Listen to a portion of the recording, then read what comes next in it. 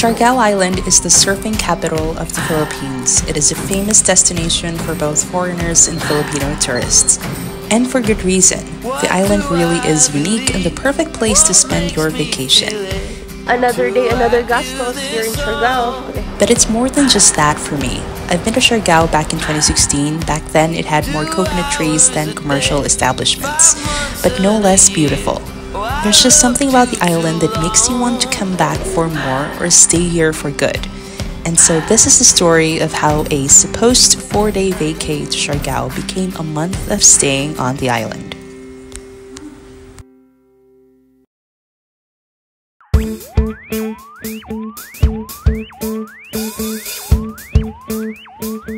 So we are now in Surigao City and we are here in a parking space because we parked our car here because in a while at 3 p.m. later 3 p.m.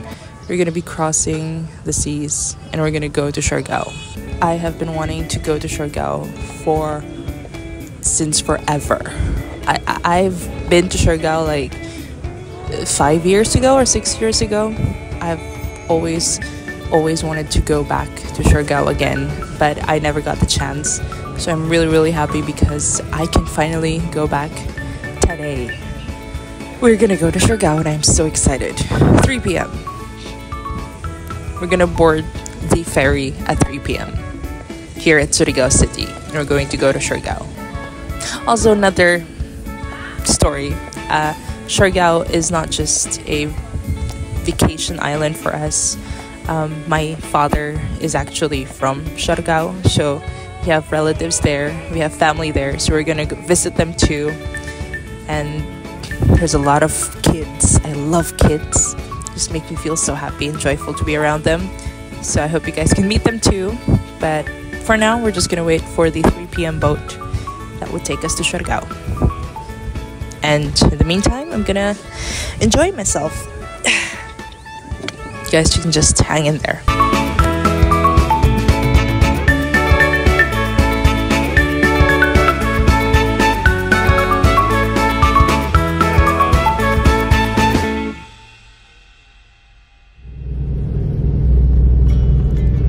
Boarded the ferry at 3 p.m. Our journey started at about 4 p.m. and we arrived at about 5:30 p.m. in Siargao.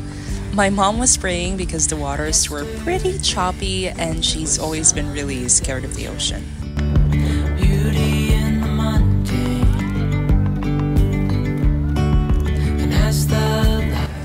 5:38 p.m. Touchdown Siargao. I don't know if it's right to call it touchdown because we didn't take the plane, but as I've said, I haven't been here for five or six years. I've always wanted to come back. I could kiss the ground right now.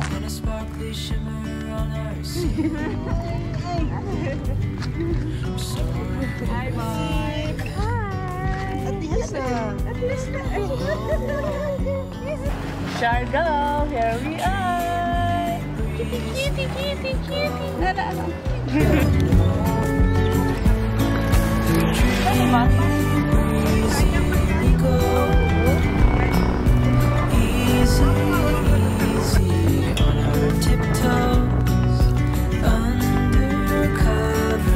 For our first day in Siargao, we went ahead and stayed at my uncle's house with our five kids, and by the next day, we went on a trip to a place called Secret Beach.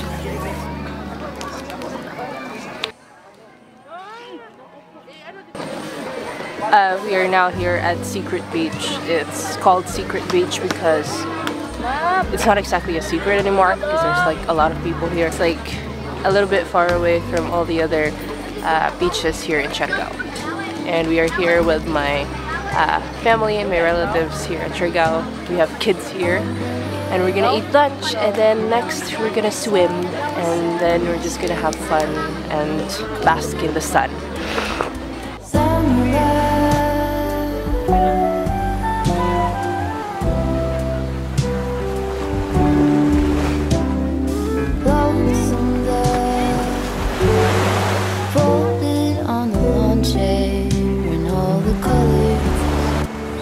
Time stops in Siargao. Time is frozen in Siargao. There is no such thing as time in Siargao. it's non existent. You don't need a clock here. And I'm saying that because living in the city where I come from, Davao City, I have to finish this amount of work at this time. But in Siargao, there's no such thing as time. There's only the present now and just get to enjoy the moment. And the island is the definition of chill. If chill is a place, it's Siargao. Like even the dogs are chill here. And I'm not exaggerating. Every dog that I've seen on this island, there are a lot of stray dogs. Each one of them, they're all chill, they're all relaxed, and they're very, very gentle. I used to be afraid of stray dogs because a lot of stray dogs back in the city have chased me. But here, they're all they're all so kind. So yeah, time stops in Siargao.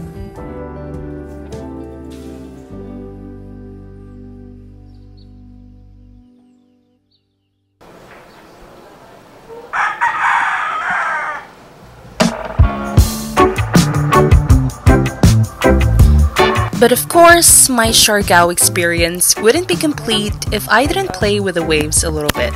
Now, I am not a surfer at all. I tried surfing once, but it didn't really work out well because not once did I get to actually stand on the surfboard. But today I come with a fresher perspective and renewed motivation.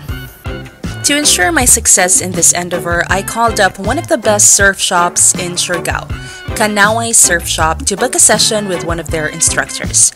I specifically requested for a female instructor because I knew I'd be more comfortable with a fellow woman and I'd be able to learn better from a big sister. Okay, so we just covered the basics of how to surf. I feel like I'm gonna do a lot more falling than surfing, but it's the sea. I don't really see any waves from here, but we're probably gonna go there. This is where I met Ate Nimia. Together, we braved the waves of Cloud9, and after only one attempt, I kid you not, I, Hanna Piccio, was able to fall a hundred or so times.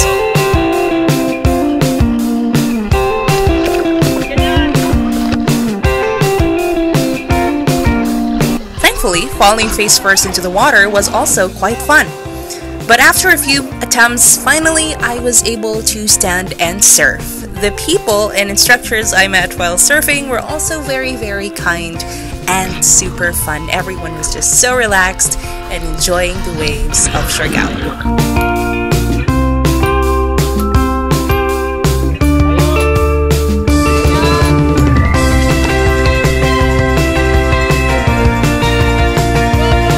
So this is Ate Nimia. She's my instructor, surf instructor. Kumusta surf ko, ate? Uh, Improving out na. Of 10. out of 10. Hey!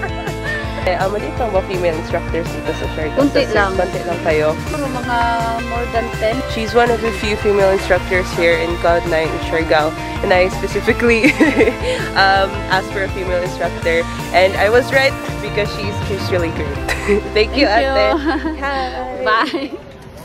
After a productive morning, we went on to enjoy the wonderful, wonderful sunset of Siargao at Cloud9 and the famous Catangnan Bridge. Slow motion. Okay, well, let me come back.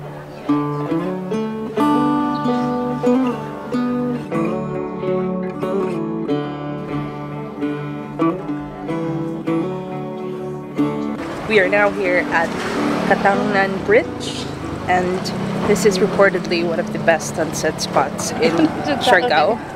And we actually got, uh, we actually visited here uh, earlier, a few days ago. There were no people then. Now it's just, it's packed. And uh, I feel like they're all waiting for the sunset.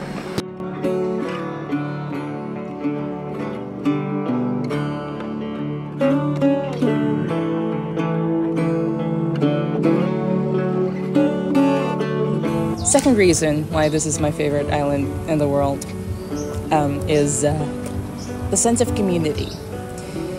In Siargao, you will always find a place where you feel like you belong. And even if you don't talk to other people, even if you're like me, an introvert, even if you just sit by the side of the bridge, even if you just watch the sunset while every other people is doing whatever they're doing around you, you still feel like you're part of the community because you're all enjoying Siargao in your own way and you're all doing activities that you like. You're all here because you love it. And being part of that and being part of the community that um, come here to enjoy the island and discover a part of themselves in traveling that's really special. And yeah it's really easy to find yourself in Siargao as opposed to living in the city where everything is just so fast paced Okay, so we momentarily got distracted because a couple of guys jumped from the bridge and into the waters below. But yeah, sunset is still going on. I can understand why this must be the best spot for the sunset in Siargao. The waters um, and the sun, it's a beautiful combination. And let me just say how clear the water is. It's so clear that don't know if you can see that. You can see the rocks below. It's awesome.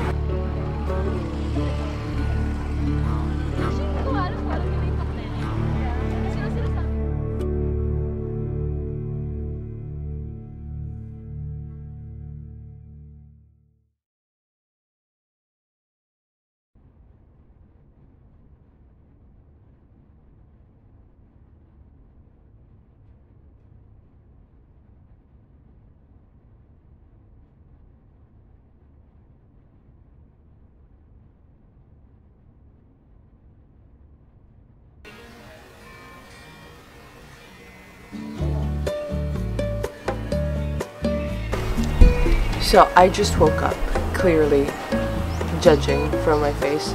Uh, we are still here at EP Bliss Resort here in Siargao. And yesterday I started my day off with surfing. But today I started my day with pain because I have gained sunburns from surfing yesterday. Uh, I was wearing shorts and a crop top while I was surfing. And the my whole lower leg is now scorched. It's so red. And it's it's painful. And my also my lower back is it's it's sunburned. It, it hurts. It's just funny because I I can now not sit I can't sit properly now without causing myself so much pain. But yeah, uh, today we will be checking out from this resort at 12 p.m. and then we are gonna transfer to General Luna, which is like the center of the hustle and bustle of Siargao. It's the uh, it's where Cloud9 is. We are probably gonna have breakfast in a while, so I'll see you then. Just gonna go back.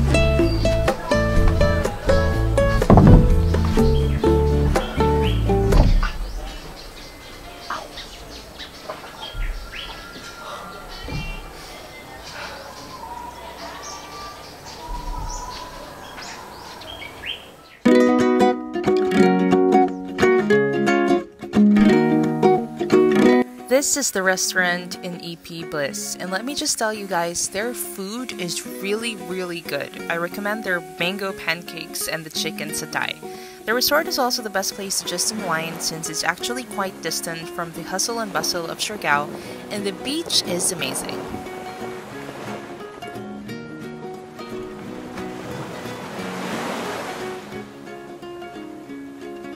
The sea is never far away in Siargao, seeing as it's an island. The sea is everywhere. You go to General Luna, there's Cloud9. Um, there are coastal, there are beaches everywhere, and the great thing is you will always, always feel the sea, even if you're in this the in the hustle and bustle of General Luna, because the buildings look like they're from the beach. It's it's themed it's beach themed basically island themed buildings and establishments And more than just that, everyone looks like they're fresh from the beach, looks like they're fresh from the sea, because surfing is the main attraction. So you will always be reminded that the sea is just a couple of walks, a couple of minutes away. That's why I love it so much. The Juncamos of Foxtail Guest House. This is our third hotel. this is our third accommodation for our Siargao trip. And this place is called Foxtail. And this room costs 2,000 pesos a night. I think I kind of like it because it's not that big of a room, but it's really, really nice because it has everything you need. You have a bed, it smells nice too. You have a small table. Um, you have a small shelf right there. Outlets. Also have also have television. Have a small closet. It's air conditioned. And you have a comfort room.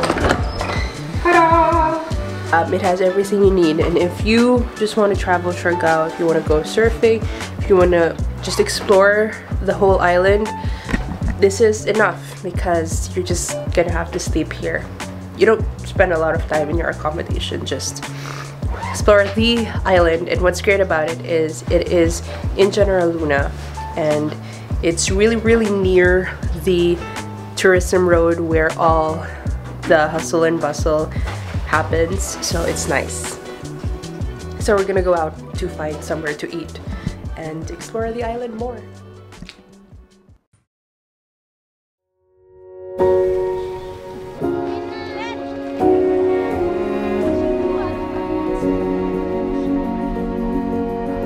There is magic in Siargao. This is the kind of thing that I always say. There's just something about the island, there's just something about Siargao. I always say that all the time. And I know it's kind of confusing to you, but there is really something about Siargao. It's something unexplainable, unquantifiable, and something that can't be expressed in words. I can explain all I want and jot down all the things and all the stuff that makes Siargao special to me, but there will always be that part that can't be explained. There will always be that aspect of Siargao, that wonderful quality of Siargao that you could only understand if you come here. That's why I call it magic, because magic can't be explained. There is magic in Siargao, there is magic in the island. And I assure you that when you come here, you will want to come back or you would want to stay here forever. And you would just feel that energy. It almost feels like the island is alive. And i'm not just talking about the establishments i'm talking about the island itself. I've been here in 2016 where there were more coconut trees than establishments. It was very peaceful. And I still felt that energy, feeling of being alive, the feeling of life. It has always been here, and that's why I say that there is magic in Siargao. The only way for you to understand it is if you come here, so come here right now. I trust me, it's worth it. Siargao is worth it. And yeah. I hope you enjoyed this video. I have tried to I have tried to vlog all the stuff that's been happening for the past few days, but sometimes I just have to put down the camera and enjoy the moment. So, yeah, I'll see you in the next video.